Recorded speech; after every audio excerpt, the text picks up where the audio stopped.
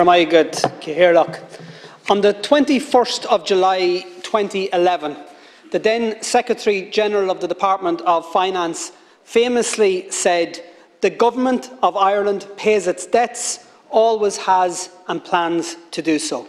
Of course, he was talking about the use of billions of Irish taxpayers' money being used to bail out non-secured bank bondholders, because the Government of Ireland does not always pay its debts, and certainly not when it comes to ordinary citizens.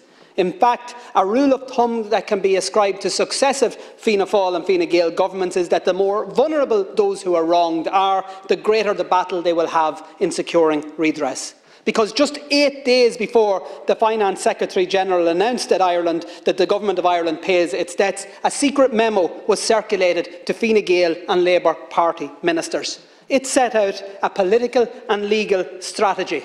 That strategy amounted to a cover-up, denying citizens of Ireland due recourse to the recovery of monies that were illegally taken from them. It is a familiar story and a shamefully all too familiar strategy. From the treatment of Bridget McCole, dragged through the courts in her final months, to Vicky Phelan and the brave cervical check victims who stood up to attempts to bully them into silence, to Louise O'Keeffe, to the thalidomide um, survivors, to families affected by sodium valproate, and more recently, the denial of redress to survivors of mother and baby homes. Fianna Fáil and Fine Gael governments have continued heartless, callous and morally wrong strategies to deny the most vulnerable their rights.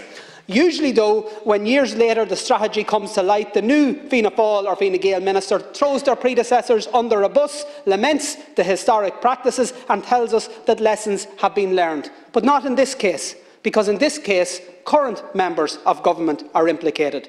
From Micheál Martin to Leo Varadkar to Simon Harris and Helen McEntee, right across the current cabinet are politicians who had a responsibility to care and protect the most vulnerable in our society, but who instead implement and implemented and stood over a cruel, callous strategy aimed at denying our elderly and citizens with disabilities what was rightfully owed to them.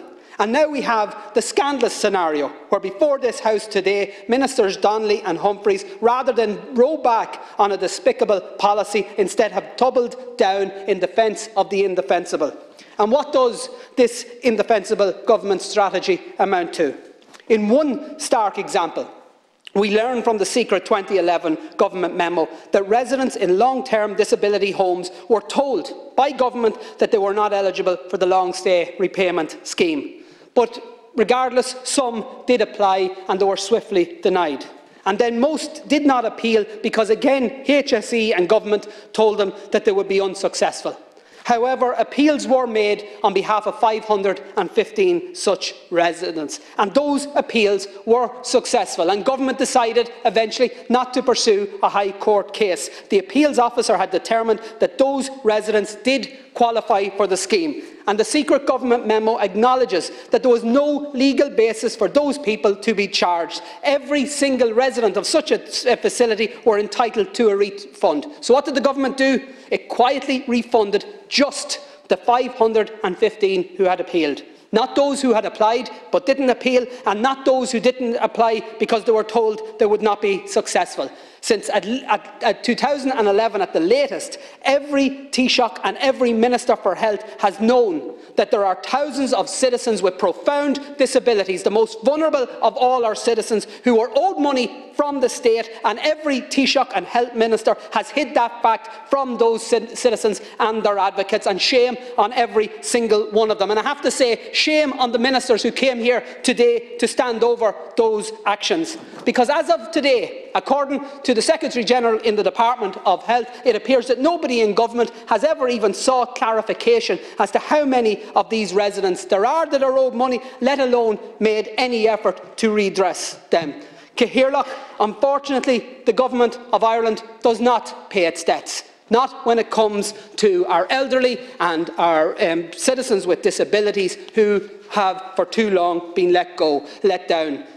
I have to tell you and put on the record that we in Sinn Féin will not let this matter drop until the principles of justice and fairness are at the heart of how government respond to these issues and until those citizens with disabilities, residents of so-called Section 38 and 39 homes who were entitled to a full repayment of the charges that they were made until the money that was taken from them is rightfully handed back.